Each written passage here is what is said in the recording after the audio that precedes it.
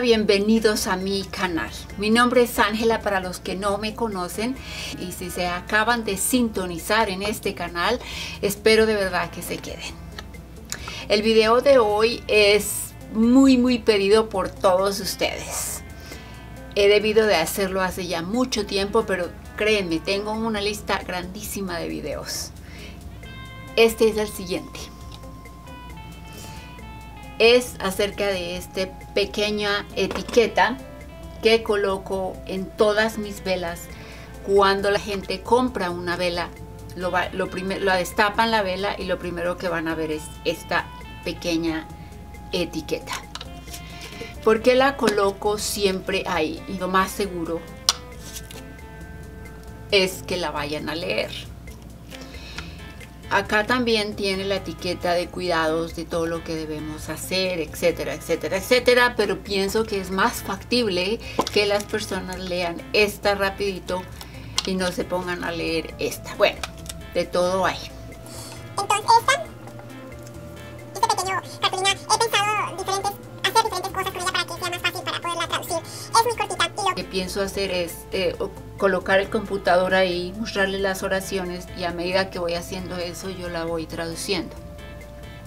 Espero que tengan papel y lápiz para que copien todo y la manden a hacer. Es de suma importancia tener un refuerzo de la información, de los cuidados que debemos de tener cuando compramos una vela.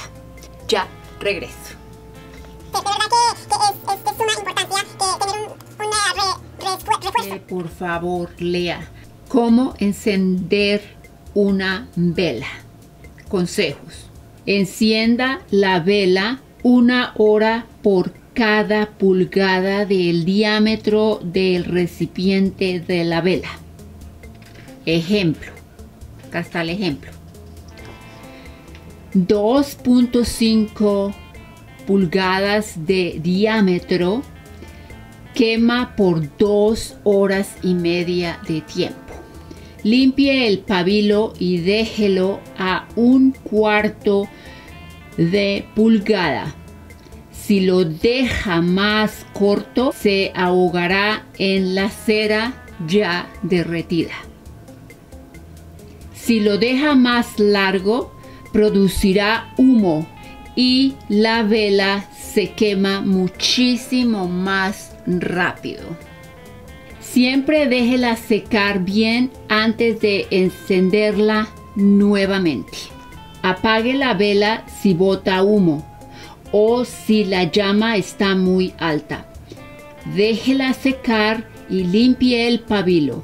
Nunca deje una vela encendida sin supervisar y colóquela en una base resistente al calor.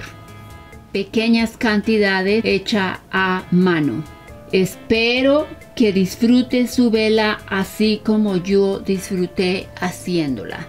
Follow me en YouTube, follow me en Etsy. Espero de verdad que les haya gustado el video y nos vemos la próxima vez. Chao. Cuídense muchísimo, los quiero cantidades. Bye.